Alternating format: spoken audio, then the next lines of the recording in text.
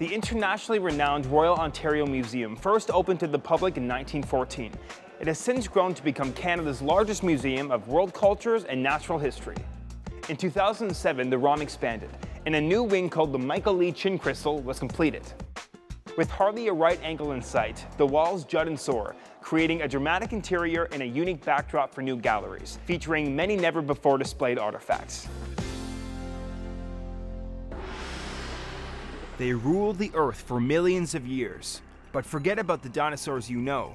This is a whole new breed of beast. Ultimate dinosaurs, giants, from Gondwana. Dinosaurs you've never seen before in a cutting edge new exhibition.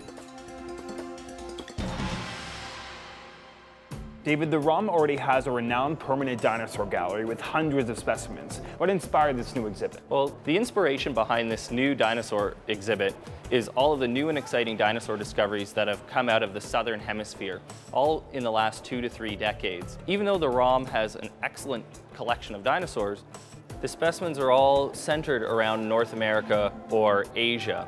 And so with this exhibit, we're bringing some of these exciting new discoveries of some of the world's most unusual and some of the largest dinosaurs to a North American audience for the first time.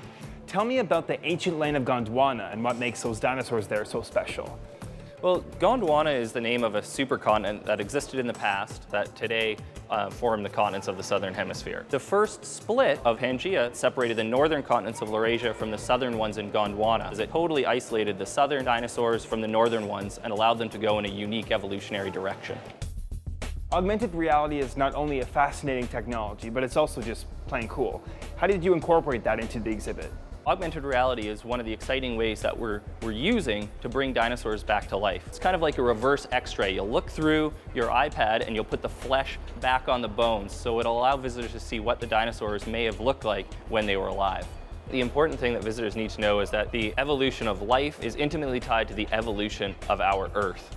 And the dinosaurs tell this amazing tale about how ev evolution is influenced by our changing global landscape. An unforgettable experience for visitors of all ages, Ultimate Dinosaurs, Giants from Gondwana puts everything about dinosaurs from the Southern Hemisphere at your fingertips. To learn more and plan your visit, go online to rom.on.ca. Or, for an all-inclusive getaway that includes discounted tickets, you'll want to stay at the Delta Chelsea Hotel. For package information, go online to deltachelsea.com, holiday, or call 1-800-CHELSEA.